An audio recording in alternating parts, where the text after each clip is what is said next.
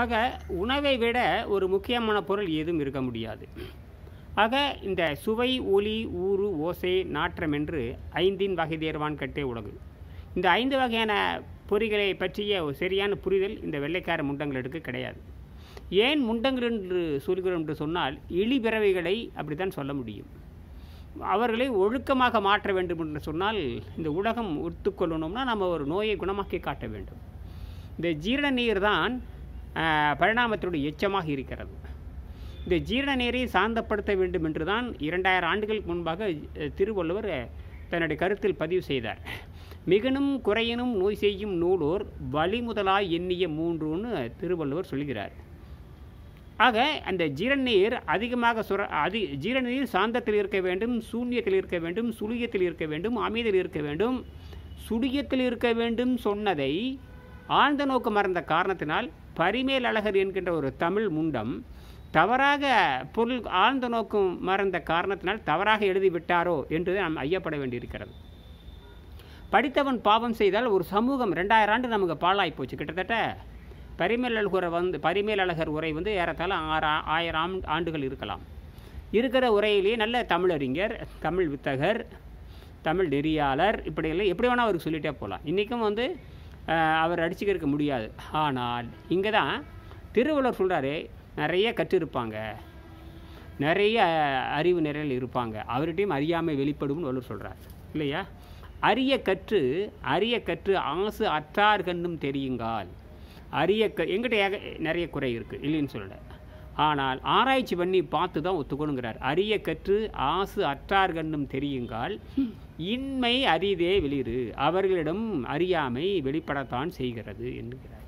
அந்த வகையில் நாம் பரிமேலழகரை நாம் ஆழ்ந்த நோக்கம் மறந்த காரணத்தினால் தன் பழக்க வழக்கத்தை அடிமைப்படுத்தி விட்டார் ஆக பொருள் சாதாரண விஷயம் அல்ல. ஒரு பொருளை தவறாக எழுதிவிட்டால் எத்தனை ஆயிரம் ஆண்டுகள் பாதிக்கப்பட வேண்டியிருக்கிறது. பரிமல் அழகர் சரியாக இருந்திருந்தால் இந்த விண்வெளி மருத்துவம் வர தேவையில்லை. இந்த உணவில்லா மருத்துவம் வர தேவையில்லை. அதனால தான் வந்து திருவள்ளுவர் உணவு போதைக்கு அடிமையான தமிழர்களை திருத்த வேண்டும் என்பதற்காக. தமிழர்கள் என்றால் இந்த இந்த உலகமெங்கும் சுற்றி பரவி இருக்கிற தமிழர்களுக்காக எழுதப்பட்டது தான்.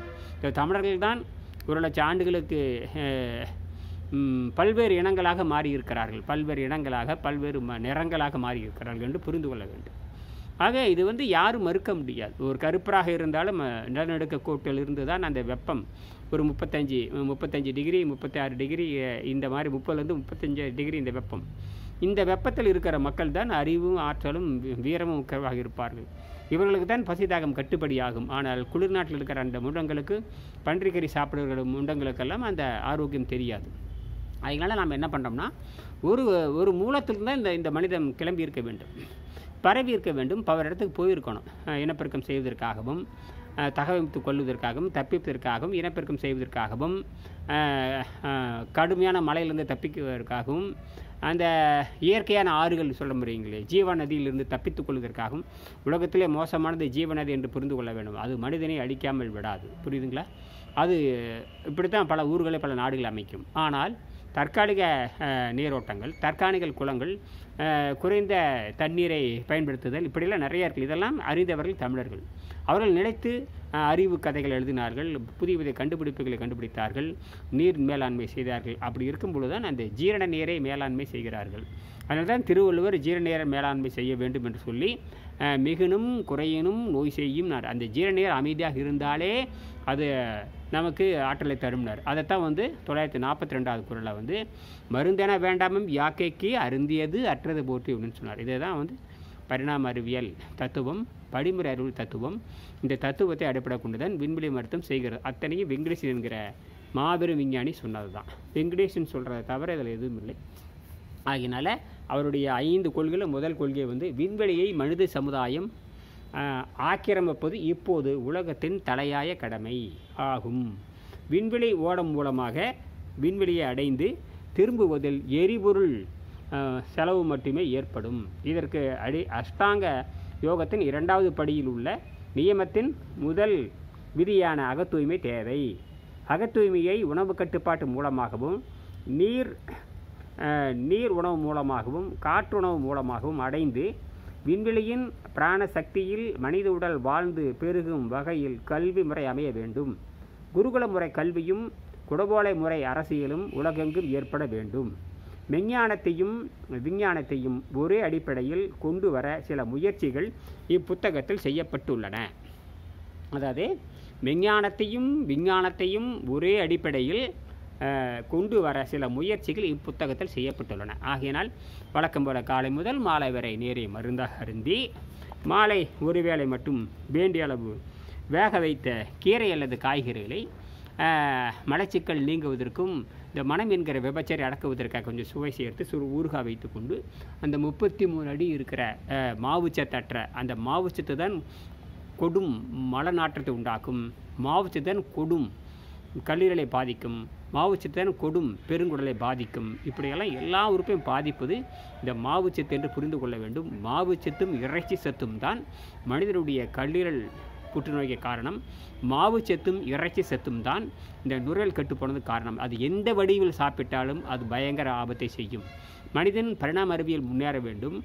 இந்த மனிதன் இந்த பிரபஞ்சம் அழிந்தாலும் இந்த பூமி அழிந்தாலும் விண்வெளி விண்வெளியில் இருக்கிற கு- குறு விண்வெளிகள் சின்ன மினி அதாவது ஸ்மால் யூனிவர்ஸ்னு சொல்லுவாங்க. அது அழிந்தாலும் வெட்டவெளி அழியாது இல்லையா? அதனால தான் தான் அழிந்தாலும் தன் குழந்தை அழியக்கூடாது என்பதற்காகவே இயற்கை ஆறாம் அறிவை வித்தை ஆறாம் அறிவை அந்த வித்தை நமக்கு தந்திருக்கிறது. இந்த மூளையின் பயன்பாடு எல்லையற்றது. கல்வி என்பது இந்த உடலையும் அறிவையும் காப்பாற்ற வேண்டும். ஏறி இறங்கும் இருகாலும் பூரிக்கும் காற்றை பிடிக்கும் கணக்கறிவார் இல்லை. காற்றை பிடிக்கும் கணக்கறிவாருக்கு கூற்றை உதைக்கும் குறிவதுமாமே. வாமத்தில் ஈரட்டு மாத்திரை பூரித்து வாமத்தில் ஈரட்டு மாத்திரை பூரித்தே ஏமுற்ற முப்பத்தி ரெண்டு ரேசித்தே ஏமுற்ற முப்பத்தி ரெண்டு ரேசித்தே வாமுற்ற பிங்களை கண்ணாக இவ்விரண்டு ஓமத்தில் எட்டு எட்டு கும்பிக்க உண்மையே என்று ஒரு செய்தி வருகிறது. பொருள் ஐநூற்றி எழுபத்தி ஓராவது பாடலில் இரண்டு நுரையல்களையும் பூரிக்க செய்து சுருங்க சுருங்கச் செய்யும் பூரிக்க செய்து சுருங்கச் செய்யும் காற்றை முழுமையாக பயன்படுத்திக் கொள்ளும் முறை அறிந்தவர் சிலர் மட்டுமே. அத்தகையோருக்கு மரணத்தை வெல்லும் திறமை உண்டாகும். என்று பதிவு செய்கிறார் திருமூலர். மூவாயிரம் கிட்டத்தட்ட எட்டாயிரம் ஆண்டு ஏழாயிரம் ஆண்டுகள் முன்பாக தோன்றியவர். பதஞ்சலியும் திருமூலரும் பதஞ்சலியும் ஒரே சாலை மாணாக்கர். எட்டு பேரும் ஒரே இடத்துல பாடம் படித்தாங்க நீங்கள் இந்த அறுபத்தி நாலாவது பாடத்தில் இருக்கிறது. திருமந்திரத்தில் திருப்பனந்தாள் காசி மடம் திருப்பனந்தாள் காசி மடம் வெளியீடு. அந்த திருமந்திரத்தில் ஐம்பது ரூபாய்க்கு நூறுரூவாய்க்கு இப்போ கிடைக்குது. அவங்க இன்றைக்கி ஐம்பது ரூபாய்க்கு கொடுக்குறாங்க. மூவாயிரம் பாடல் நான் கூட வாங்கி திருப்பனந்தாள் காசி மடம் நேராக சென்று அங்கிருந்து போய் ஒரு நான் திரு திருமந்திரத்தை வாங்கியிருக்கேன். அதில் பார்த்தீங்கன்னா திருமூலரும் பதஞ்சலியும் வியாக்கரமும் அப்புறம் வந்து சிவயோக மாமுனியும் இன்னும் கூட நாலு பேர் எட்டு பேர் சேர்ந்து அவங்ககிட்ட பாடம் படிச்சிருக்காங்க. நந்தியம் பெருமாள்கிட்ட பாடம் படிச்சிருக்காங்க இமயமலையில். ஆகினால பதஞ்சலி தான் உலகத்தை கிழிச்சாருங்கிற மாதிரி இந்த அரசியல்வாதி முண்டங்களும் போலி மதவாதி முண்டங்களும் போதி அரசியல்வாதிகளும் போதி சமயவாதிகளும் பேசிட்டு இருக்கிறாங்க. அவர்களெல்லாம் குடல் கிட்டு அழுகி போய் செத்துத்தான் தீர வேண்டும். வடநாட்டில் இருக்கிற மந்திரிகளும் தென்னாட்டில் இருக்கிற மந்திரிகளும் வடநாட்டில் இருக்கிற மதச்சாமியார்களும் தென்னாட்டில் இருக்கிற மதச்சாமியார்கள் அனைத்து வகையான மதச்சாமியார்களுக்கும் சிறுகுடல் பெருங்குடல் சுருங்கி போய் ஊசி மாதிரி தான் இருக்கும். ஒருத்தனும் கூட அழகாக மாலையாக சதுர வடிவில் இருக்காது என்று புரிந்து கொள்ள வேண்டும். குறிப்பாக இந்த பிரிட்டிஷ் மருத்துவத்தை பாடம் படிக்கிற அந்த காட்டு முண்டங்களுக்கும் அந்த குடல் அழகாக இருக்காது. அதெல்லாம் ஏற்கனவே நான் சொல்லியிருக்கேன். ஆகையினால நோயற்ற வாழ்வும் குறைவற்ற செல்வம் பெறணும்னா நீங்கள்